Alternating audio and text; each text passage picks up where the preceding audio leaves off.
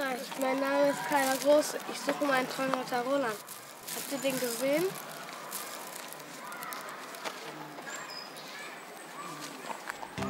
Roland war ein Ritter des Kaisers Karl des Großen im 8. Jahrhundert. Einige behaupten, dass Roland sogar sein Neffe war.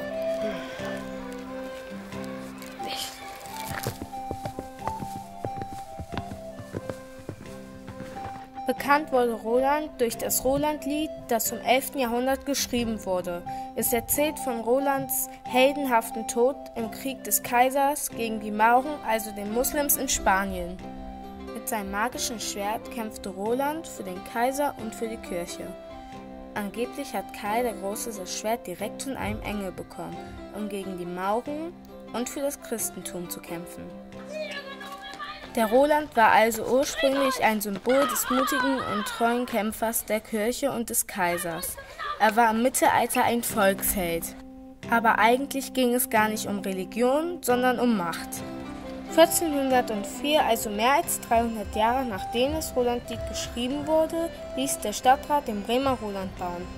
Die Statue hatte aber jetzt eine ganz andere Bedeutung. Sie symbolisierte die Freiheit der Bremer Bürger gegenüber der Kirche. Die Kirche und die Bischöfe hatten nämlich in der Zeit sehr viel zu bestimmen. Die Bremer wollten aber frei entscheiden und stritten mit den Bischöfen um ihre Unabhängigkeit. Für diese Unabhängigkeit sollte der Roland stehen. Hä? Aber ich dachte, der Roland kämpft für die Kirche, nicht gegen die Kirche. Wie der Roland diese neue Bedeutung bekam, weiß man nicht genau. Damals behaupteten einige Bremer Politiker, dass Karl der Große Bremen besondere Marktrechte und Freiheiten gegeben habe. Der Roland würde sozusagen als Vertreter des Kaisers stehen, um diese Rechte zu schützen.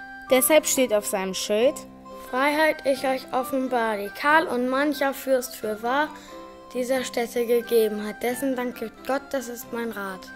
Der Bremer Roland ist die älteste von 50 Roland-Statuen in Deutschland. Weitere Skulpturen gibt es in ganz Europa verteilt. Sogar in Brasilien und den Vereinigten Staaten von Amerika gibt es Roland-Statuen. Ist der Gürtel da? Ja. Das Schwert? Ja. Auf ein Kopf? Ja.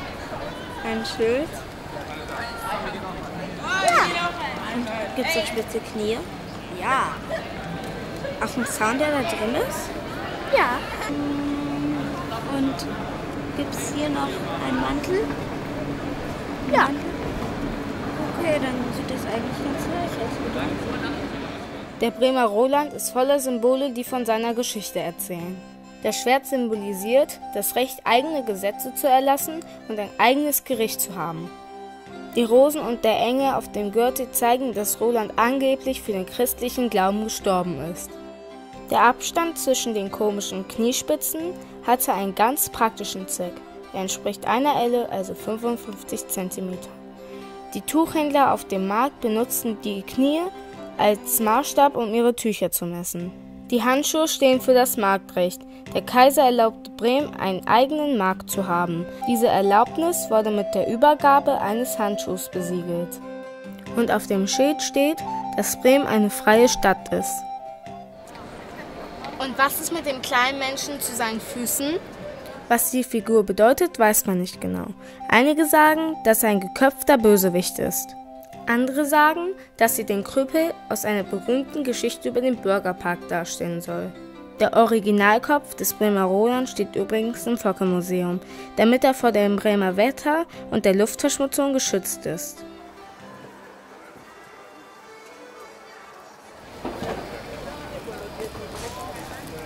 Bisschen blastiger aus, oder? Ursprünglich war der Roland bunt angemalt und mit Tüchern gekleidet. Damals hatte das eine wichtige Bedeutung, da in Bremen nur die Ritter und Politiker farbige Klamotten tragen durften.